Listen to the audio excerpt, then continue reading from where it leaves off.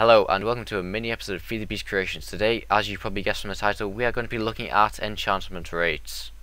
So what I decided to do was make an extremely quick spawner, which includes two wither skeleton spawners and a lot of turtles, which gives me one book every 6.7 seconds, and that also translates to 9 books every minute.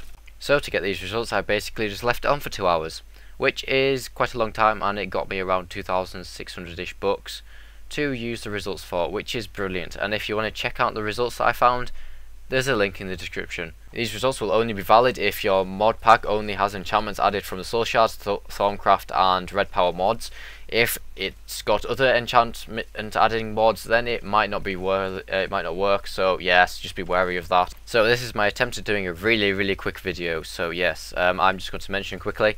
I posted the vanilla results I found from this on Reddit and I got on the front page so I'm really happy about that. And yes, that is the end of the episode guys. Take care, links in the description. Goodbye, see you next time.